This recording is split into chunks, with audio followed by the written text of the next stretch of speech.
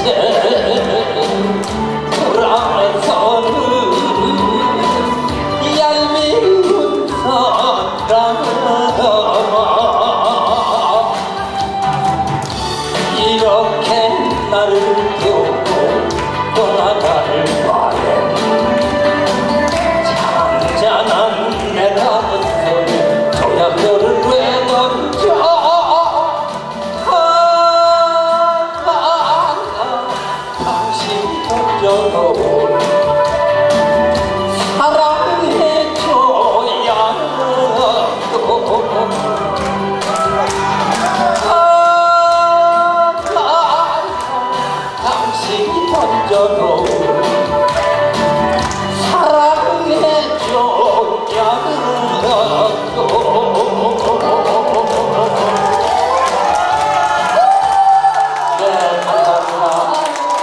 사도를 가수분들도 많이 오고 관객도 많이 오셔서 정말 감사합니다.